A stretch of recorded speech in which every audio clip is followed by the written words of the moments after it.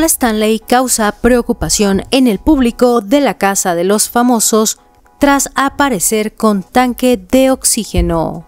Paul Stanley causó preocupación en la audiencia de la Casa de los Famosos al aparecer con un tanque de oxígeno por cuestiones de salud.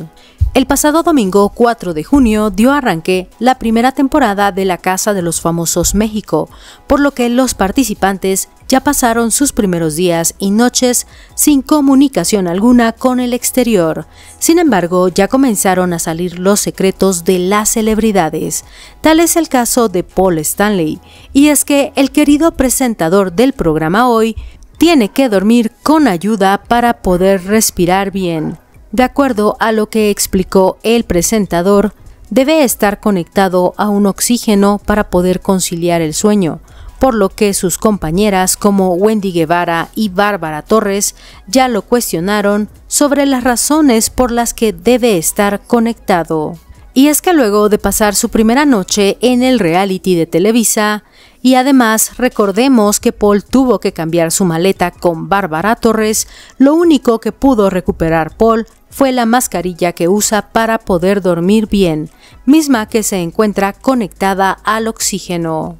Al ver dicha situación, Wendy y Bárbara cuestionaron a Paul, por lo que éste reveló que desde que le dio COVID ya no oxigena bien y ha tenido diversas dificultades para respirar pues fue diagnosticado con apnea del sueño.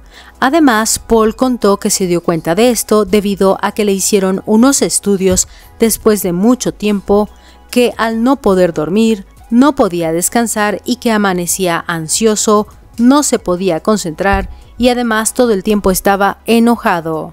Además, Paul reveló que fue a partir del pasado mes de abril cuando se dio cuenta que sufría de la apnea del sueño, luego de haber regresado de un largo viaje y que comenzó a sentirse muy mal. Por lo que ahora, debido a este padecimiento, la salud del conductor se ve afectada gravemente, por lo que siempre tiene que dormir con oxígeno.